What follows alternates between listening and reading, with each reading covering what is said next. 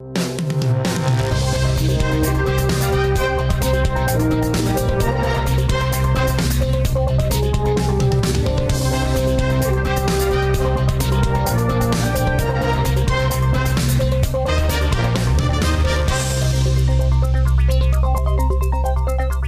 Здравствуйте! На телеканале Ника программа «Неделя». Меня зовут Антон Липовский. В течение часа я и мои коллеги расскажем о самом актуальном из жизни региона. И сначала коротко о некоторых темах этой программы. Большая проверка. Все службы активно включились в борьбу с резким ростом цен. Двойные законы. Почему семьи не могут воспользоваться мат-капиталом своевременно? Студенты радуются сдаче сессии, обучение дорожает. Как прошел Татьянин день и сколько теперь стоит семестр? Звездные новости. Ученые услышали другую галактику, а юные ракетостроители удивили космонавтов. И если друг оказался вдруг, его цитируют миллионы. Парня в городе не рискни, не бросай одного его. Высоцкому исполнилось бы 77. Два дня до Поднебесной. Китай готовится протянуть высокоскоростную железную дорогу из Пекина в Москву, сообщает РИА Новости. Это своеобразный жест поддержки России в противостоянии Западу. Новый маршрут, который пройдет через Казахстан и составит 7 тысяч километров, призван сблизить не только экономики, но и культуры двух стран. Доступнее для азиатских партнеров станет и Калужская область. Виртуальную дорогу к новым возможностям прокладывает инвестиционный портал региона. Электронная версия достижений Калужского края теперь работает на японском и корейском языках. Таким образом, узнать об экономическом потенциале нашего региона, доступных индустриальных площадках и налоговых льготах можно уже на пяти языках. Сложная экономическая ситуация не станет препятствием для реализации инвестиционных задумок. Уже начатые масштабные проекты будут обязательно завершены, отметил губернатор Анатолий Артамонов в интервью информагентству «Интерфакс» в Москве. В этом году в Калужской области планируется открыть 13 новых производств, в том числе три больших фармацевтических фабрики, завод по производству двигателей и еще один цементный завод продолжат появляться животноводческие комплексы и роботизированные фермы. Ну а в целях экономии некоторые проекты, возможно, придется отложить на потом. Но вот на чем точно область не будет экономить, так это социальная сфера. Мы сейчас готовим три сценария э, наших действий вот, в сложившихся условиях. Это оптимистичный, э, значит, спокойный сценарий и пессимистичный. Вот то, что касается пессимистичного сценария, там может быть такое, что вот эта формула, которую мы в 2008 году применяли. Вот если мы не профинансируем эти расходы, катастрофа случится? Нет. Значит, подождем. Подождем год-два, ничего страшного. Но это не, совершенно не относится, к, допустим, к приобретению медикаментов, к финансированию учреждений здравоохранения, их деятельности, там, образования, социальной сферы. Нет. Цены кусаются, лекарств не хватает. Российские прокуроры на прошедшей неделе проверили стоимость продуктов и медикаментов в магазинах всех регионов страны. Некоторые товары подорожали на 150%. Больше всего в цене прибавили молоко, куриные яйца и подсолнечное масло. В Саратовской области производителям и сетевикам объявлены предостережения, а в Ханты-Мансийском автономном округе некоторые предприниматели стали фигурантами административных дел. В Ставрополе проверяющие не нашли в аптеках необходимых лекарств. Не ушли от проверки и калужские аптеки. Под контролем цены на жизненно важные препараты. Первый совместный рейд сотрудники прокуратуры, АБЭПа и Росздравнадзора провели в аптеке номер один. Главная цель – проследить цепочку ценообразования. Для этого представители ведомств будут внимательно изучать соответствующие документы. Информация о результатах проверок городских аптек будет опубликована в областных СМИ.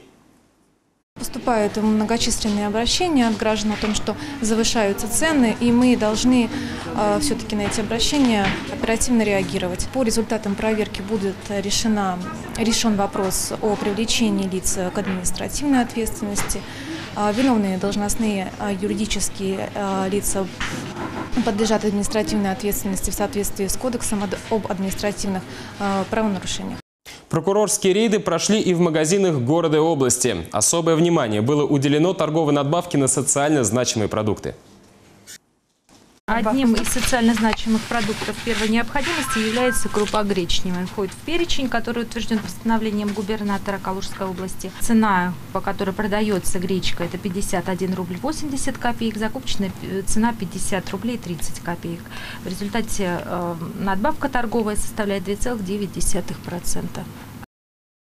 Свежие натуральные продукты, произведенные на Калужской земле, порой обходят прилавки местных магазинов и отправляются прямиком в столицу. Качество оставшихся деликатесов калужан устраивает. Вот чего не скажешь о цене. Сотрудники прокуратуры и члены народного контроля на прошедшей неделе пристальное внимание обратили на ассортимент ярмарки на Старом торге. Наталья Жилина решила развеять миф о дешевизне местных продуктов. О том, что на ярмарке продукты должны быть дешевле, чем в магазине, люди услышали. На ближайшую ярмарку на Старый торг потянулись с рассветом и энтузиазмом за качественным мясом и молочкой. Да не тут-то было. Цен таких нет, ниже однозначно. Э, на, что хочу сказать, еще более-менее цены держат на мясную продукцию. Немного, не намного подорожало, где-то процентов на 10. А вот, например, творожная наша, масальская продукция, вообще возмущает. Каждую ярмарку то есть вот было еженедельное, дорожание идет на 10%. Ярмарка э, делалась для того, чтобы снизить цену, и чтобы покупатель купил бы по э, ниже цене, чем в магазинах. Но ярмарка даже э, товар дороже, чем в магазине, на общей нырке, на рынке, на центральном дороже. Вот и народный контроль удивился ценам. Например, тарусским. Яйца 72 рубля за десяток. Молочка значительно дороже, чем у производителей в соседних районах. Расценки на мясо нигде не уступили магазинным. Поискали продукцию по ценам производителей. Исследовали обнинские колбасы. Наценка здесь 10, и на дорогие колбасы 18. Потом молочные продукты. Из Козельска, Медыни, Масальска. Почем вы продаете вот это молоко в пленке? В пленке 34. На базе его даже уже у вас, покупая посредник, так называемый, 32 рубля, он 50 продает. Потому что отпускная цена, нам показали накладную 29, 60 было. То есть они делают минимальную. Тогда почему сюда-то вы так дорого 10% делать? Нельзя ли 5% хотя бы сделать? Вам же бесплатное место здесь дается. Я просто продавец. Я поняла. Вопросы надо решать вышестоящим руководством. Так, а вы кто? Я просто продавец. Вы на базе покупаете, свою наценку сколько делаете? Это надо с хозяйкой разговаривать. Мы Хозяйка, продавцы. то есть Хозяйка вы сегодня... торгуете на хозяйку? Да, мы на Понятно. работаем. В довершении к общей картине выяснилось, что под видом калужской продукции торгуют рыбой из брянских и смоленских складов. Там ее поймали, потом в другом месте ее закоптили, потом это к нам попало. Откуда попало, как устанавливали цены и кто накрутил наценки, спросить в конечном счете оказалось не у кого. Мы видим такую картину. У нас ценовая политика все-таки на этой ярмарке, по сути дела, ничем не отличается от тех цен, которые есть в торговых сетях, в магазинах. Вот. Мы видим также, что на этой ярмарке присутствуют посредники, которые также прибавляют в цене какой-то процентик, и от этого продукция становится дороже. Полномочий принимать какие-либо меры к нарушителям у народных контролеров нет. Зато есть возможность донести информацию об увиденном до антимонопольной службы Министерства конкурентной политики и прокуратуры, чем, собственно, участники рейда пообещали незамедлительно воспользоваться. Наталья Жилина, Никита Богадов, телекомпания «Ника ТВ». В регионе тем временем готовится к открытию несколько роботизированных ферм. Одна из них в Масальском районе скоро удивит всех не только надоями, но и технологией строительства. В качестве материала глава хозяйства использует солому и глину. Татьяна Зимушина подробнее. Лучшие строительные материалы, за которыми даже идти в магазин не нужно. Обычной глины и ржаной соломы достаточно, чтобы сделать дом, который будет теплее любого современного, говорит Иосиф Дымчук. Секреты дела, которое сам освоил не так давно, не раскрывает. Говорит лишь, что солому укладывают постепенно, ярусами. Постоянно прессуют. Потом готовую стену шпаклюют глиной. Очень хорошее экологическое то есть взаимодействие соломы с глиной. Они как бы бактерицидные являются. Они м, влагу как бы друг другу отдают и забирают. И дышат стены. Иосиф Дымчук помогает строить ферму своему сыну, который решил сменить строительный бизнес на аграрный. Захотел производить экологически чистое молоко. Поэтому издание строит тоже из натуральных материалов. Зимой такую технологию применять нельзя, поэтому сейчас Дымчук-старший занимается кладкой. В полной уверенности, что его работу высоко оценят даже коровы. Корова, как никто, чувствует вот, э, вот эту э, экологию. То есть она ощу- ощущает на себе все прелести, как говорится, нашей жизни. Хотя вроде как бы она высказать не может человеку, но как на финише она то ли телят даст хороших, то ли молоко даст хорошее. На этой ферме в Ферзиковском районе строители, наверное, тоже ждут тепла, затягивают с окончанием работ. Осталось доделать электрику. Корм есть, коровы тоже. Пока их дуют по старинке, руками. Позже им придется приспосабливаться к роботам, говорит Владимир Козлов. На это уйдет не больше недели, уверен фермер. Эти животные вообще ко всему быстро привыкают. Я снял забор, и настолько они помнили, что здесь забор, они подходили, нет забора, смотрели. И потом все равно, вот где был забор, они такой вот прыжочек делали. Забора нет. Так что это привыкает быстро. Все же главная привычка рогатых – соблюдать режим питания. Его нарушение чревато плохим надоем. У коров здесь целая культура приема пищи. На улице, чтобы трава не пачкалась в грязи, фермер установил кормушки собственного изобретения. А внутри обед по расписанию подают тракторист Александр и пес Валет. Мой спутник сам привык. Сначала прятался за задним колесом, чтобы его не вернули домой, а потом вот пришлось взять в кабине. Сам видите, поскольку раздаем. Аппетит хороший. Будут, будут добавочки, еще лучше будет. Именно еда должна подружить животных с роботами. После дойки машины будут давать коровам десерт – комбикорм, ради которого они готовы на многое. Я вот даже телок кормил летом. Он берет вот так вот, подня- поднимает ковш, вот так. Она достает. Он поднял еще выше. Встала на задние ноги, копыта передние туда и стоит как собака вот так вот. И там живет, вот на такой высоте. Вот ее в цирк надо такую корову. Циркачка. И самое интересное, поела комбикорму и опять коровам через забор прыг туда. И там опять с ними.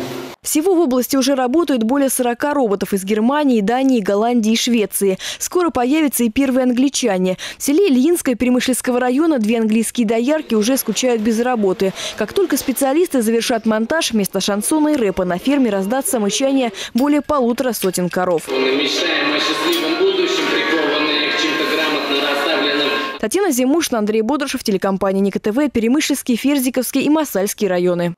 Свободные деньги. Родители могут разрешить потратить в этом году 20 тысяч рублей материнского капитала на любые текущие нужды.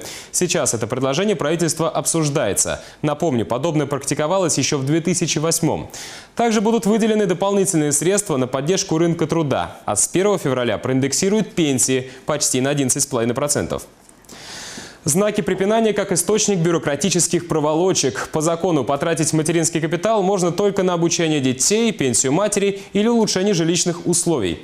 В последнем случае деньги выплачиваются двумя частями. Чтобы получить вторую половину, необходимо подтвердить целевое использование средств. Вот тут-то для калужских семей до недавнего времени и крылась проблема. С подробностями Сергей Коробков.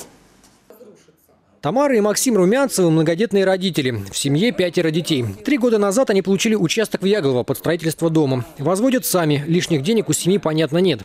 На данный момент Румянцевы смогли построить только первый из двух этажей. Это обошлось в 640 тысяч рублей, 200 из которых – материнский капитал, вернее его половина. Чтобы достроить второй этаж и крышу, семье необходима вторая часть мат-капитала. Но городское управление архитектуры отказывается выдавать акт выполненных работ, который позволит получить деньги. Потому что у дома еще нет крыши. Замкнутый круг. Родители жены сказали, ну, следует все-таки получить разъяснение, потому что, ну, невозможно, не должно так быть, что те деньги, которые положены нам э, государством, они имеют вот такой вот стоп-фактор. Э, И без этих денег и не будет закончено строительство, а незавершенное строительство, оно склонно к разрушению.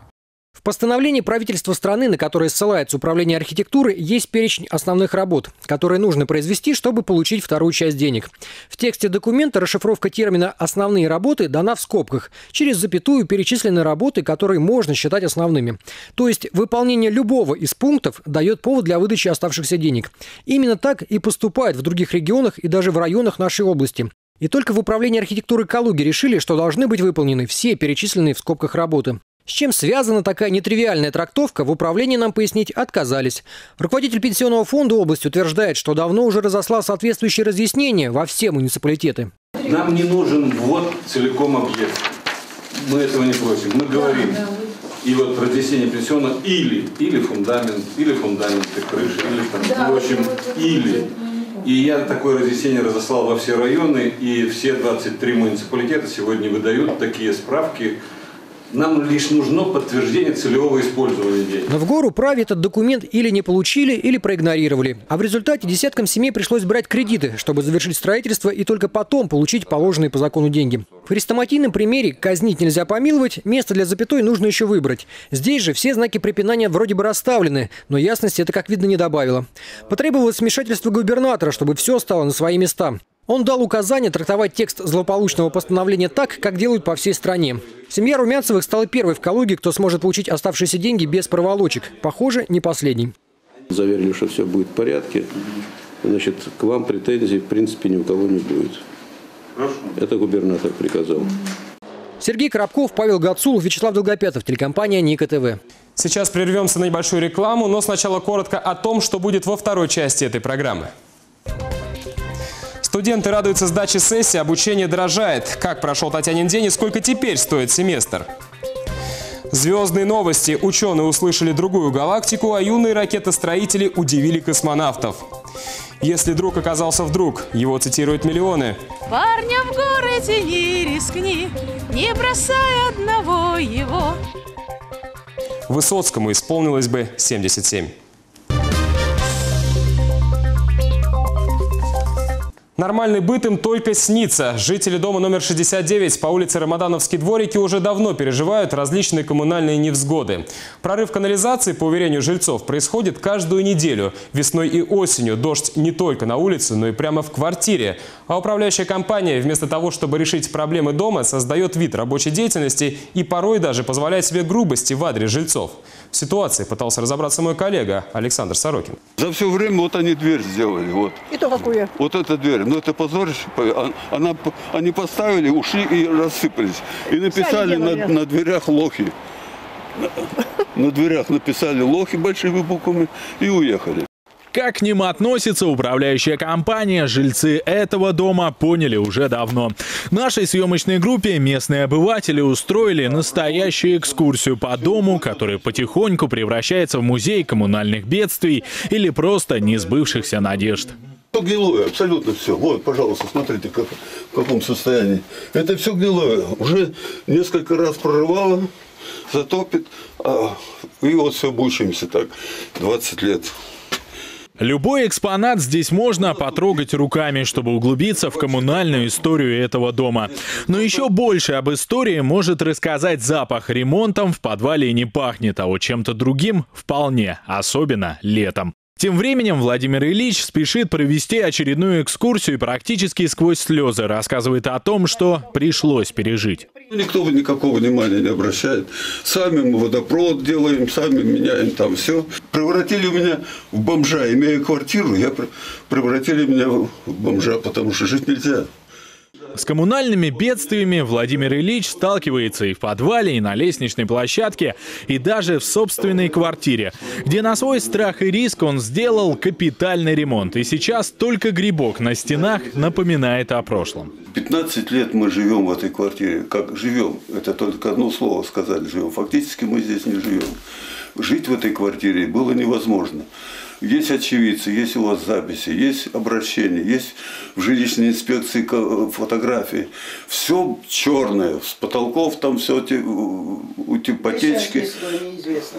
Поедем, значит, только, э, ну, как сам, как только мог, а они ничего не делают. Я как мог, пойду там золотаю кое-как, ну, ремонт сделаю. У Владимира Ильича вдобавок к музею с неприятными экспонатами появилась еще и целая библиотека обращений. Ответов много, но действий ноль. В один из моментов нам удалось застать за работой представителя управляющей компании. Но и она вразумительного ответа на вопросы, когда будет ремонт и что делать жильцам, так и не дала. Почему Я не знаю, долго? это вопросы не ко мне. Обращайтесь, у нас есть инженера, есть управляющие компании, директора. Понятно. Я лицо подчиненное. Директор управляющей компании, по заверению жильцов, тем временем продолжает держать их в неведении и даже отказывается от комментариев журналистам. Единственный, кто не отказал нам в интервью, это жилищная инспекция. Там не только рассказали о ситуации с домом, но и дали не совсем приятные отзывы об этой управляющей компании. Человек, э, руководитель, да, не исполнил наши предписание, наложенное органом государственного жилищного надзора, да, наш по данному вопросу на нем заново был составлен протокол с привлечением опять его к штрафным санкциям. А, также в адрес управляющей организации было направлено предписание уже новое.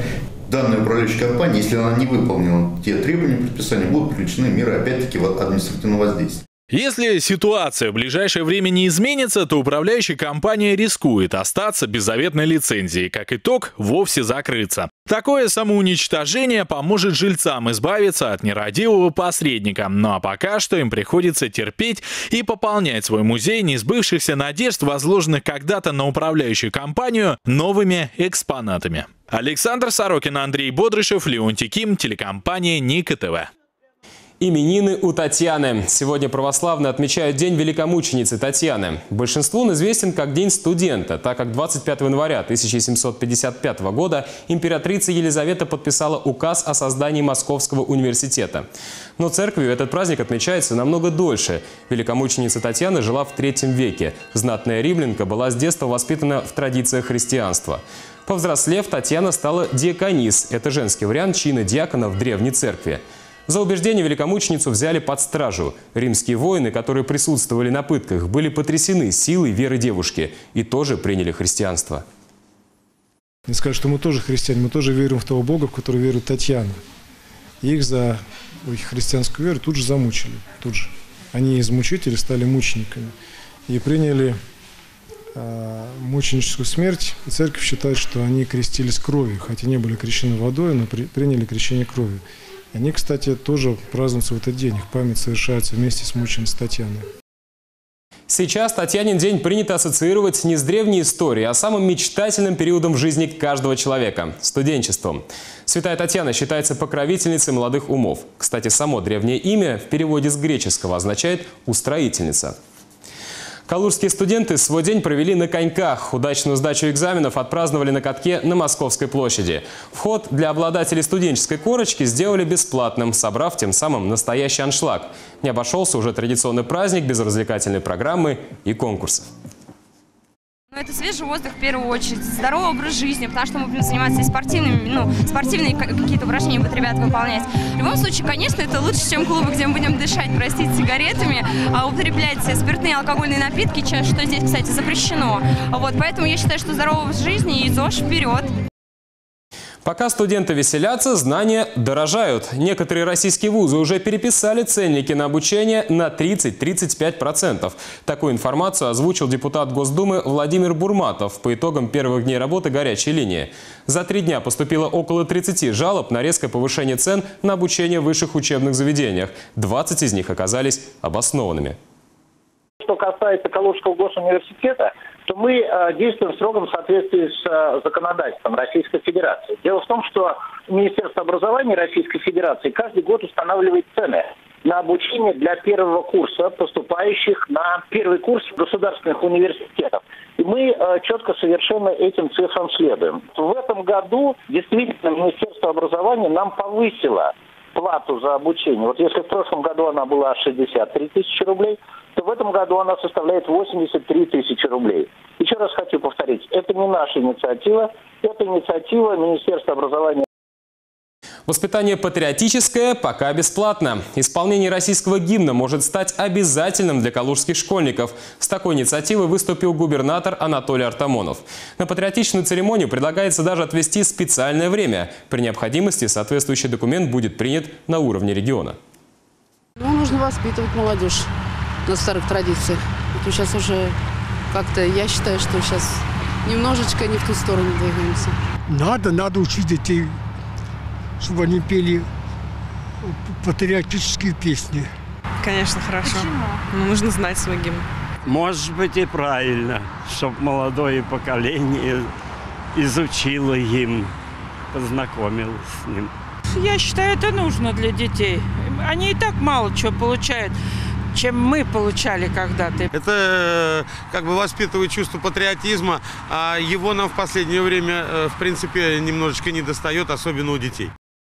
А вот школьникам Украины придется разучить кое-что посерьезнее гимна. Переписать историю заново задумали украинские власти. После военный период на этот раз предлагается назвать советской оккупацией. Великую Отечественную войну переименуют во Вторую мировую. А 8-9 мая в этом году будут отмечать не как День Победы, а как Дни памяти и примирения и 70-летие завершения войны в Европе. Как сообщает РИА, новые исторические замечания в учебные заведения страны уже разосланы. Прозвучало также на этой неделе и заявление от главы МИДа Польши, мол, Освенцим освобождали украинцы, в то время как это были советские войска, состоящие из русских украинцев и татар – Очередные попытки задеть Россию. Вот к чему они могут привести и что бывает с теми, кто пытается обмануть историю. Поделится с нами своим мнением на этот счет директор Института истории и права КГУ имени Циолковского Ирина Берговская. Здравствуйте, Ирина Николаевна. Здравствуйте. А, ну, расскажите, что может из себя представлять вот а, такое право переписать вот историю действительно? На самом деле, а, вот те высказывания, которые мы слышали последние две недели, они настолько противоречит объективной истине, что даже обсуждать этот вопрос не хочется. Потому что э, те факты, которые пытаются исказить, факты относительно событий Великой Отечественной войны и Второй мировой войны, э, они общеизвестные, и те, кто пытается их э, переоценить эти факты, переоценить ужасы того страшного вооруженного конфликта, того столкновения государств и народов, а, выдать добро за зло, а зло за добро, а, ну, вызывает только улыбку. Недоумение. Да, недоумение, Расскажите, улыбку. а как вы думаете, причем... почему они это делают? А, я думаю, что в данной ситуации руководствуются какими-то чисто политическими э, мотивами, вот причем мотивами хочется... разжигания розни, э, мотивами, которые, опять-таки, не соответствуют национальным интересам э, ни, ни одной из держав. Так возникает вопрос, вот как раз-таки тот, mm-hmm. которым вы и занимаетесь э, по своей э, специальности. Mm-hmm. Есть ли вообще такое понятие, как патриотизм э, и какая-то национальная идея в Украине? Вот когда мы говорим о том, что есть патриотизм, да, и что есть национальная идея, я хочу сразу обратить внимание на глубокие исторические связи а, и Украины, и России. И идти вопреки этим, опять-таки, объективным корням, объективным историческим связям, это действительно просто мешать развитию Украины и России. Дело в том, что та ситуация, которая там сейчас происходит, а, ведь это не созидательная ситуация, это разрушительная, потому что та политика, которая проводится на Украине, а, на мой взгляд, она не есть а, национальная политика, потому что в основе нее не лежат истинные национальные интересы не может быть э, основой э, истинно национальной политики э, политика людоедства, которая там проводится. То есть нельзя никакими национальными интересами, никакими выгодами одного, одной нации, одного государства оправдать убийство, то, что есть абсолютное зло, да, оправдать убийство детей, убийство стариков и так далее. Сразу да. возникает вопрос, а есть ли патриотизм на Украине? Вот понимаете, а, ведь что такое патриотизм? Патриотизм – это, опять-таки, политика, соответствующая этим высшим ценностям. Именно в них, в, в такой политике выражается в полном смысле а, любовь к родине – Потому что патриотизм – это идеология, но это еще и определенное национальное чувство. А любовь к родине, она не предполагает ненависть к другим. Ведь чем отличается патриотизм от национализма? Да? Патриотизм всегда э, объединяет вокруг а, идеала, да, вокруг ценности. В данной ситуации такой ценностью, идеалом выступает свое отечество, своя отчизна, своя родина. Да. Национализм всегда объединяет против кого-то для того, чтобы проводилась национальная политика, националистическая, точнее, политика, так. а ее иначе как там не назовешь, это не национальная политика, это не политика патриотическая, да. Так вот, националистическая политика, она предполагает образ другого, образ врага. Какие последствия для самой Украины могут стать вот эти вот шаги? Я считаю, что для Украины уже наступили последствия, просто Украина сама забывает свою историю, да, историю. Ну, понимаете, современная э, человечество, я бы так сказала, современное поколение людей, оно отличается скептицизмом. То есть, ну, критическое мышление – это всегда хорошо, но когда оно не становится абсолютом, когда все пытаются не просто подвергать сомнению, а все опровергнуть. А здесь все-таки э, действительно огромное значение имеет школьное образование историческое, а именно в образовании, не просто обучение, потому что образование предполагает воспитание еще.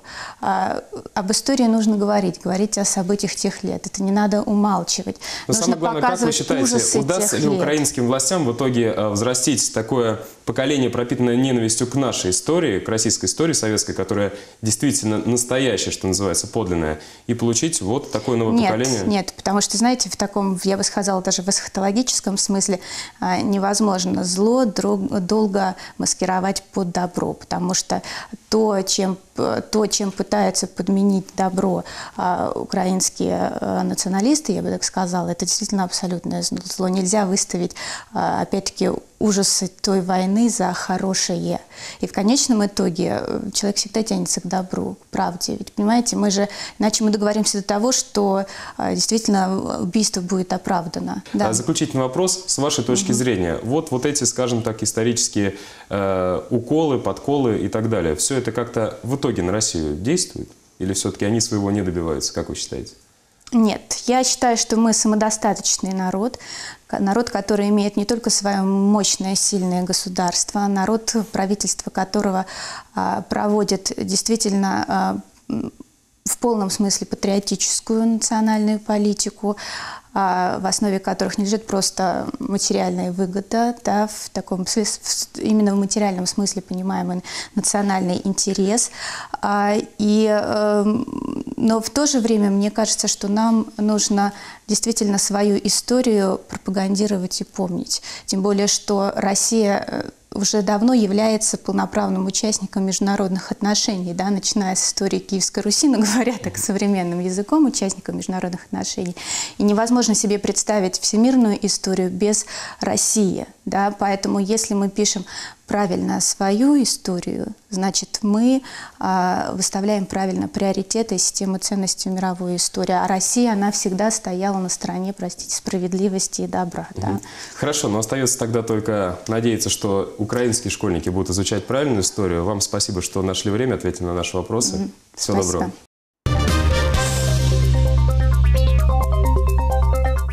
Роскосмос и Объединенная ракетно-космическая корпорация будут работать теперь на одной платформе. Такую инициативу премьера Дмитрия Медведева поддержал президент Путин.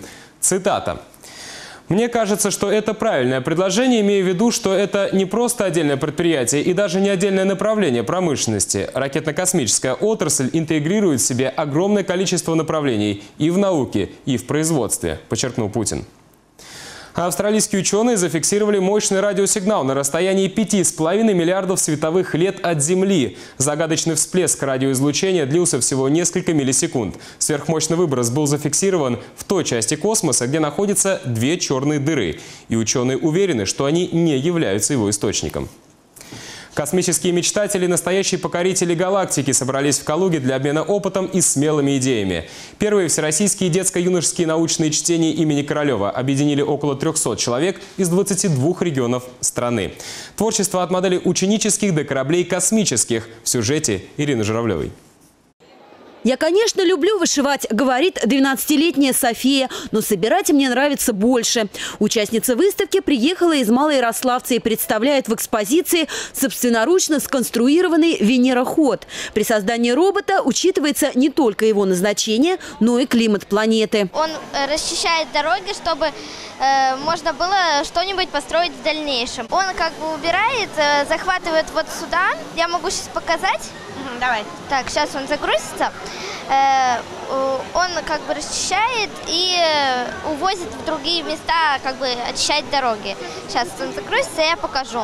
Там все время ветра, и как бы у него такая как бы э, типа вентилятора стоит. Специалисты знакомятся с моделями и подтверждают, среди прочих экспонатов, робототехнические комплексы для изучения поверхности других планет у калужских школьников особенно интересны. Здесь собрались дети, которые, несмотря на юный возраст, уже определились с будущей профессией. Дети с золотыми руками и бесценными мозгами. Это дети, с которыми занимаются. Это дети, которых увлекают. Нет неталантливых детей. Есть дети, с которыми повезло и не повезло, я считаю так. То есть вот их направили в правильное русло, им показали, им рассказали, насколько это интересно, и дети заинтересовались. Ракетостроители, юные историки космонавтики, дети, которые занимаются дистанционным зондированием земной поверхности. Темы проектов, которые участники будут защищать на чтениях имени Сергея Королева, самые разные. Некоторые из них, над которыми работали 9 и 8-классники, уровня второго, третьего курса технических вузов. Космос – это самое интересное, чем человек может заниматься, считает летчик-космонавт Сергей Рязанский. Покидая Землю, ты начинаешь иначе к ней относиться. Сверху границ не видно видно. Сверху ты видишь красивую планету с удивительными природными явлениями. И вроде бы да, там вот где-то вот ты знаешь, что это маленькие кусочки разных стран, но сверху ты этого не воспринимаешь, это единое целое. И э, меняется, соответственно, и восприятие, и осознание вообще нашей планеты не как лоскутков одеяла разноцветных, а как единого целого. Здесь говорят о новых кораблях и новых задачах, о лунной и марсианской базах. Слово, которое звучит на открытии чтений чаще всего – это «будущее». Ирина Журавлева, Андрей Будрашев, телекомпания «Ника ТВ». Космонавт-испытатель Сергей Рязанский побывал в нашей студии лично. В рамках программы «Новости» мне посчастливилось узнать больше о его уникальной работе.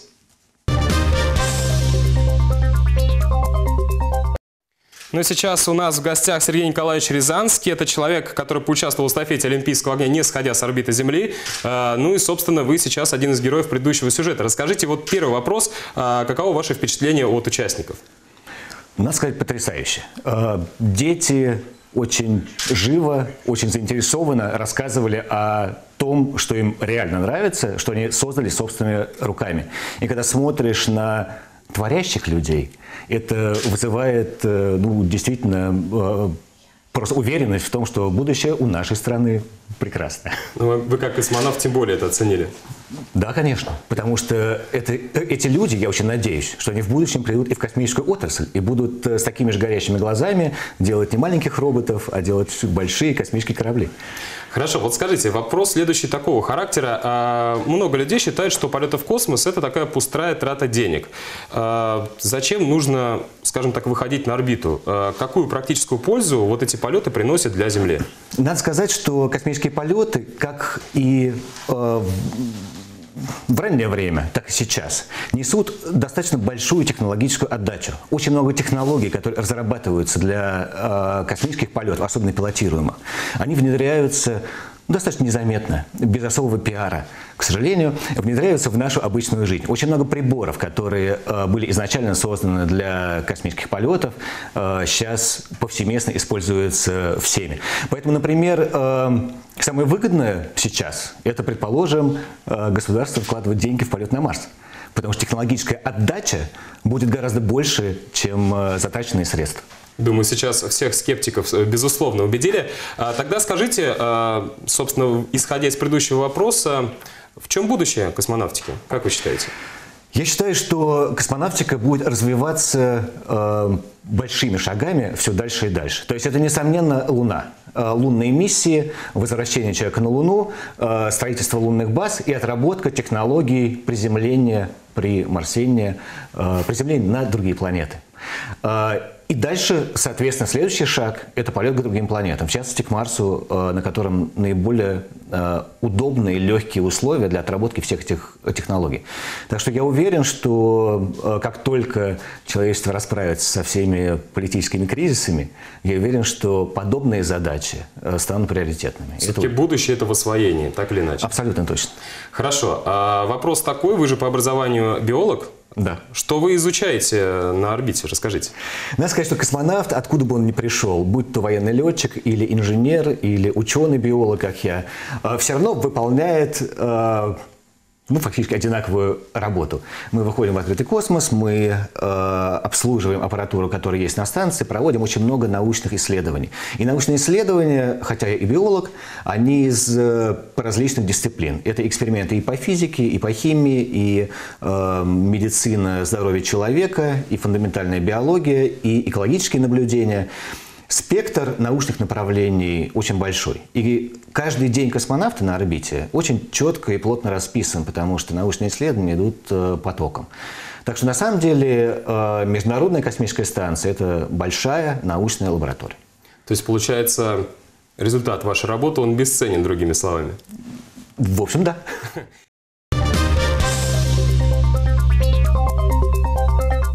Космические технологии уже давно и плотно обосновались в повседневной жизни землян.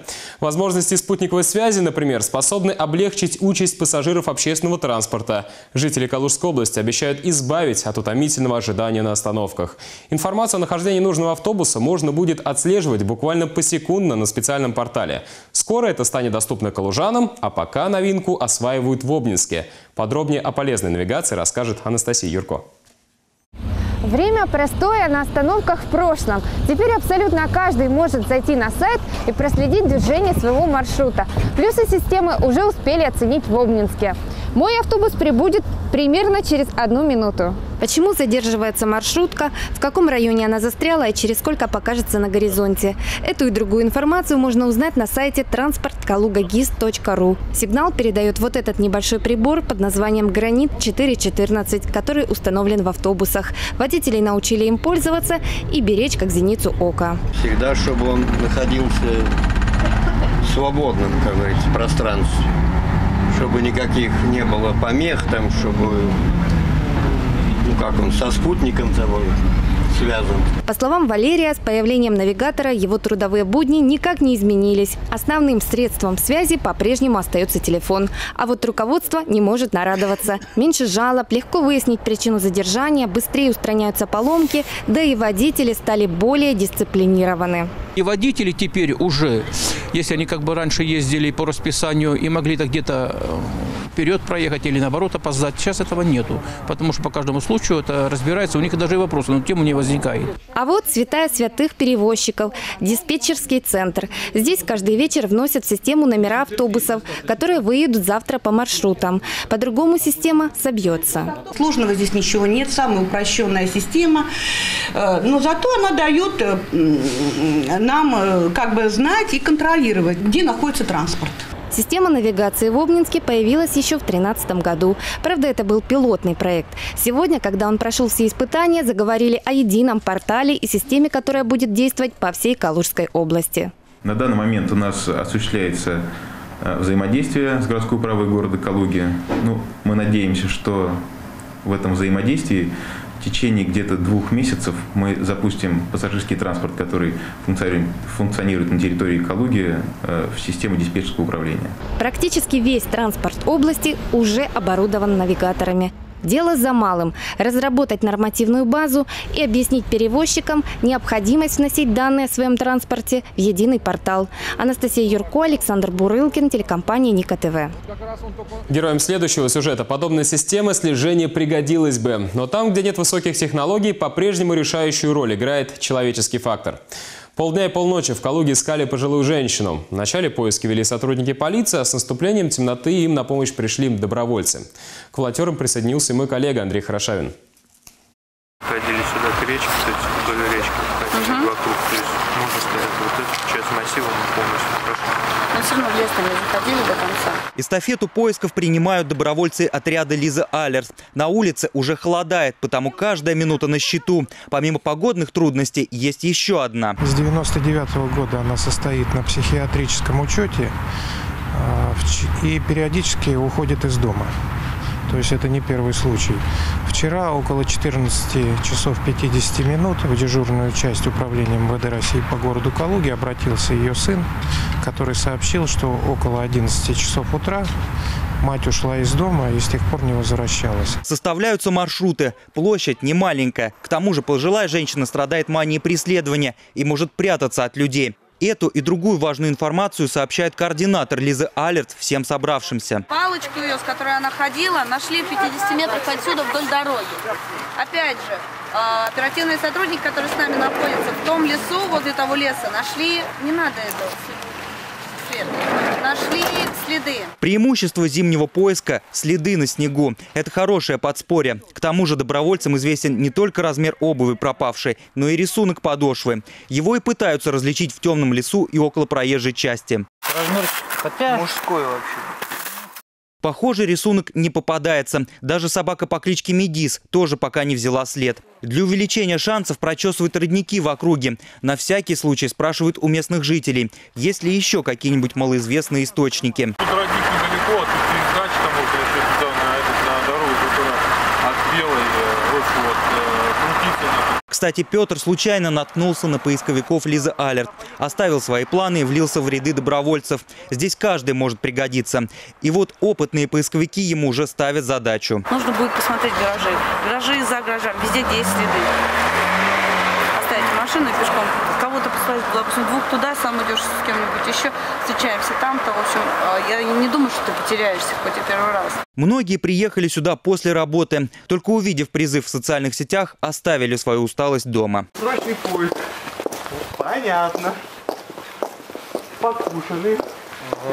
Еще один участок поиска – микрорайон Силикатный. Одна из групп проверяет подвалы и все закоулки. Только пока безрезультатно. А через некоторое время появляются новости. В районе 11 часов вечера нам поступил звонок от э, очевидца, что видели в районе Мстихина бабушку очень похожую по описанию. Выдвинулись на место сразу же.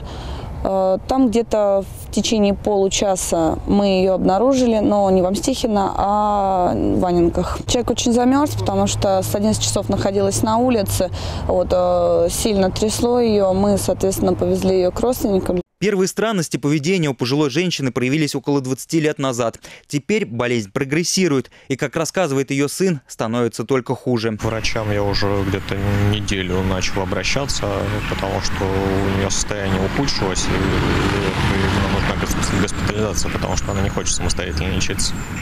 Но пока как бы ничего не было. Вот сейчас, может, все-таки положат ее. Ну, Тяжело, потому что она вот так вот уходит и не говорит куда, и говорит, что не вернется. Сын уверен, что теперь лечение просто необходимо, ведь присматривать за матерью круглосуточно он не может. И не исключено, что в следующий раз отыскать ее будет гораздо сложнее. Андрей Хорошаев, Никита Богатов, телекомпания Ника ТВ. Вернуться в реальность предлагает сегодня все Международный день без интернета. Главная задача праздника – хотя бы на один день оторвать современного человека от компьютера, призвать его к живому общению, занятиям спортом и отдыху на свежем воздухе. Что интересно, организаторами этого праздника в 2000 году стали сами интернет-пользователи. Отказаться от клавиатуры и взять в руки, если не перо, то хотя бы шариковую ручку предложили россиянам на прошедшей неделе в День ручного письма. Писать вручную стали меньше во всем мире, а в Европе уже задумываются над тем, чтобы отменить в школах правописания и с первого класса обучать на планшетах. У нас пока таких инициатив нет, но эпистолярный жанр плавно уходит в историю. О тех, кто, как и что пишет вручную, расскажет Андрей Степичев. 142 упражнения. Тетрадочки открыли. Самая кропотливая, но важная часть образовательной программы. Ученикам 2 В нужно точно и максимально аккуратно переписать текст из учебника. Задание несложное с точки зрения исполнения, но во времена компьютерно-планшетного триумфа с налетом легкой экзотики. Письмо везде надо писать рукой, а не планшетом. Надо э, э, подумать и писать. А если компьютер тебе все дает, а надо своей головой думать и писать. Писать, а не печатать, думать, а не полностью доверять автоматической проверке грамотности в гаджете. Их здесь готовят к самым непредвиденным писательским ситуациям. Компьютеры сейчас не везде есть. И э, где нет компьютеров, э, надо именно писать э, рукой, а не компьютером. И они четко знают, для чего вообще умение выводить красивые буквы на белом листе. Для того, чтобы поступить учителем работать. Например, редактором, чтобы там заполнять всякие анкеты.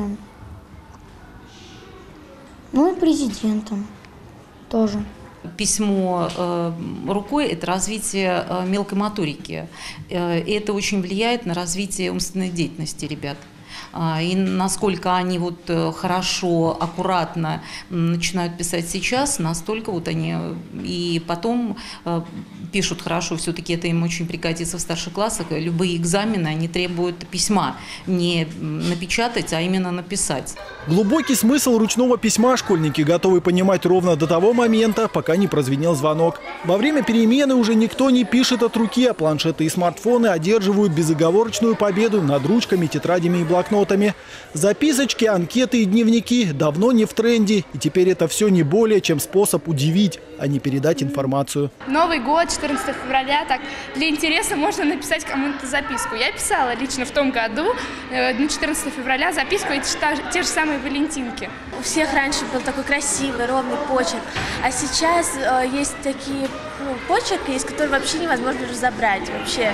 Надо смотреть, или очень мелкий бывает почерк, что нужно просто взять лупу и высматривать, какая там буква. Просто надо немного накладывать, чтобы удобнее было. Сколько рука захватит, чтобы было удобнее. Полный мешок не надо накладывать. Кондитерский мешок вместо ручки и торт как поле для творческой деятельности. Для Ирины Мороз искусство красивого письма – одна из составляющих частей бизнеса и неразборчивого почерка. Это сладкое дело точно не приемлет. Вообще у нас из всего коллектива, конечно, не все подписывают торт, два человека только. С днем рождения для тебя или простое поздравляем. Простор для творчества здесь небольшой, говорит Ирина, но бывают и спецзаказы. Писать приходилось и сложные имена, и даже отчества. И здесь нужно заранее и четко распланировать каждый сантиметр будущего шедевра. На торте пишешь, надо еще рассчитать расстояние, потому что в тетрадке там строчки идут одна за одной, ты переносишь, а на торте перенос уже не допускается, ну уже некрасиво получается, поэтому надо еще размер букв подобрать. Потому что торты бывают совсем маленькие, просят подписывать, и надо меленько писать. Писать сейчас стали меньше, сходятся во мнении специалисты-графологи, а сам почерк изменился за последние десятки лет так, что уже и смысл всех этих закорючек, палочек и кружочков не всегда возможно понять. Для произведений врачебного искусства даже появились дешифраторы, а сама культура ручного письма ушла в историю вслед за пером и чернильницей. Эпистолярный жанр у нас уже умер, письма мы не пишем вручную, открытки тоже не пишем. Среди моих знакомых один только человек, который посылал открытки и, говорит, доставил необыкновенную радость своим друзьям и знакомым. Дневники навряд ли кто-то из нас пишет теперь от руки. Поэтому, конечно, тренироваться хотелось бы. Ну, хотя бы рецепты, хотя бы памятки, хотя бы адреса переписывать от руки. Это очень надо. Вот, например, исследуемая подпись в каком-либо ну, вот, вот конкретном документе. А, скорее всего, лицо как бы отказывалось от э, исполнения данной подписи. Поэтому данная подпись является спорной. И, следственно, нужно было установить тот факт, является ли это подписью именно этого гражданина. Подпись в итоге оказалась поддельной, а гражданин получил экспертное заключение, что он к ней не имеет никакого отношения. Документы теперь в основном печатные, говорит криминалист-графолог Юлия Дрожжина, а расшифровывать приходится чаще подписи, которые тоже становятся все менее информативными. Фамилию полностью уже давно никто не пишет, да и анаграммы все чаще уступают место простым галочкам. Люди стали более скрытными, считает Юля, и началось это совсем не в компьютерную эру, а намного раньше. Если а, прописи брать 19 века, да, там, там, конечно, дополнительных элементов, каких-то а, завитушечек очень много, то чем дальше, то есть после революции а, решили ам, уровень образования поднять, то есть в массы, научить писать а, всех, Соответственно, придумали более упрощенный вариант прописи, чтобы людям, а, скажем, рабочим и крестьянам было легче их освоить. Контрольная работа. Контрольная работа по русскому языку и выполнять ее нужно строго вручную. Школы, как главные хранители тех останков эпистолярного жанра, которые еще не сдались под натиском соцсетей и телефонной переписки. За доклады в письменной форме теперь добавляют балл. И это только одна из многочисленных форм поощрения ручной передачи информации. В начальной школе, конечно же, они все пишут еще от руки, но с возрастом уже к классу седьмому а, у них уже есть возможность пользоваться интернетом и планшетами. Но мы все-таки стараемся, чтобы дети больше писали именно от руки. Школьники сильно не сопротивляются, и хоть иногда попадаются ярые противники сочинений «Handmade», конкретно в этом классе таких не нашлось. Для меня она дает э, больше шансов раскрыть свои таланты. То есть когда я пишу, я смогу увидеть, какие у меня, допустим, э, отметки есть плохие в характере. То есть мама мне говорит, чем аккуратнее твой почерк, тем аккуратнее характер. С точки зрения школьника, любые шпаргалки пишут, любые шпаргалки пишут от руки. Или, ну, там, записки кому-нибудь передать. Все это пишут от руки. Это не напечатать быстро. Писать больше, делать это чаще и выбирая между планшетом и листом бумаги, брать все-таки ручку. Польза для мозга от ручного письма уже доказана давно, а вот влияние клавиатуры и тачпада все еще под вопросом. Андрей Степичев, Вячеслав Долгопятов, телекомпания Ника ТВ. Ради его песен многие специально покупали магнитофоны. Сегодня день рождения Владимира Высоцкого. Ему исполнилось бы 77 лет. Он написал и исполнил более 700 песен. Его концерты собирали толпы людей. Невероятная энергетика и искренность не оставляли равнодушным никого. Высоцкого считали за своего представители самых разных кругов, поскольку тематика песен была обширна и отражала саму жизнь. Военные, блатные, юмористические и даже сказочные. Строки любимых песен и стихотворений мы продолжили вспомнить калужанам. Такая возможность сейчас есть и у вас. И на этом программа недели подошла к концу. Хочется пожелать вам хороших новостей на следующий. Берегите себя. До встречи на Нике. Ну, я не очень, конечно, к Высоцкому. Я спортом занимался в то время. У нас хорошо учат в школе, и мы проходим и на литературе, и на музыке. В свое время, когда работали, устраивали тематические вечера по творчеству Высоцкого когда работали в институте. Так что я думаю, он актуален и сейчас, и в наше время. Руки шире 3-4, там бодрость духа и грация. Бег на месте общепримиряющий. Парня в городе не рискни, не бросай одного его. Дорогая передача, во субботу чуть не плача, вся канатчикова дача к телевизору рвалась. Нет, чтобы там поесть, помыться, уколоться и забыться. Вся безумная больница у экрана собралась. Почему аборигена съели кука? Кто уплетет его без соли и без лука, тот умным, э, э, смелым станет на вроде кука. Он списал просто, гениально и емко. Жираф большой, ему видней. Ой, Зин, такую же хочу. Уважаемый редактор, может лучше про реактор, а? Про любимый лунный трактор. Ведь нельзя же ход подряд, то тарелками пугают, дескать, подлые летают, то у вас собаки лают, то у вас руины говорят.